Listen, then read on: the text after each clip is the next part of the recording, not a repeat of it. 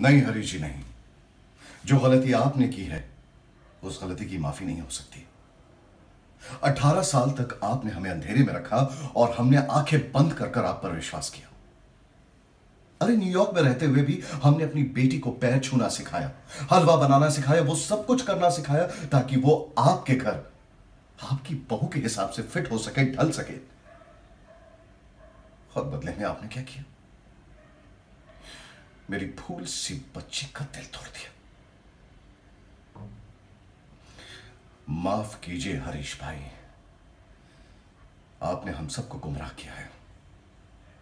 और आप ही सब कुछ सुलझाएँगे।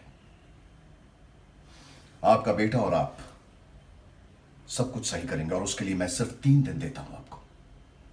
इन तीन दिनों में या तो मेरी बेटी पूरी इज़्ज़त के साथ आपके घर की बहू बनकर यहाँ से जाएगी, या तो फिर चौथे दिन सुबह। आप सब लोग बिना कुछ कहे यह बंगला खाली करके निकल जाएँगे।